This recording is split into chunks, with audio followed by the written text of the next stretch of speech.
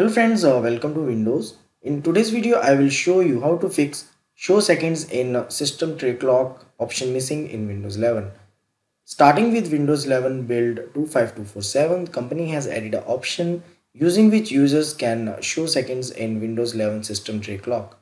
The option is available under taskbar behavior, on the taskbar setting page and the option uh, usually appear at the bottom of this section but you can see that it's not uh, available on my pc and if you landed on this video then definitely you are also facing the same issue. Fortunately, it is uh, possible to add show seconds in system tray clock option uh, using a registry hack. Using a registry hack. So let's learn how to do that. First of all, uh, you need to click on the search icon available on the taskbar and then you need to type regedit. When registry editor appear in the search results, click to open it. Now in the registry editor, you need to select HKey current user and then select software and then Microsoft.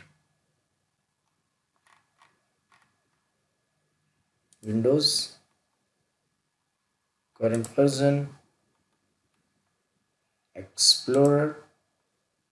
And then select advanced. Now on the right side you need to create a new dword 32 bit value for that. Right click here and then select new and then select dword 32 bit value and uh, name it show seconds in system clock after that double click on it and set it value data 1 and then click ok. Once done you need to close the registry editor and uh, restart the computer to apply the changes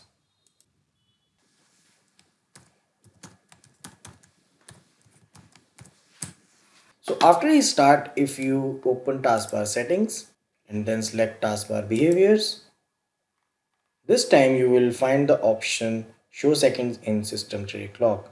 Now if you check the box, it will start displaying seconds in the taskbar clock. So that's it guys. I hope you find this video useful.